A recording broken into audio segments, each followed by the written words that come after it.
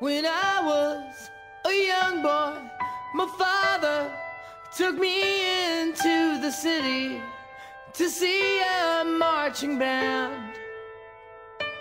He said, Son, when you grow up, would you be the savior of the broken, the beaten, and the damned?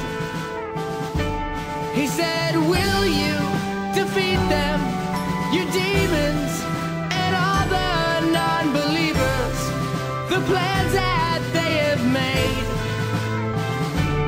Because one day I'll leave you a phantom to lead you in the summer to join the black.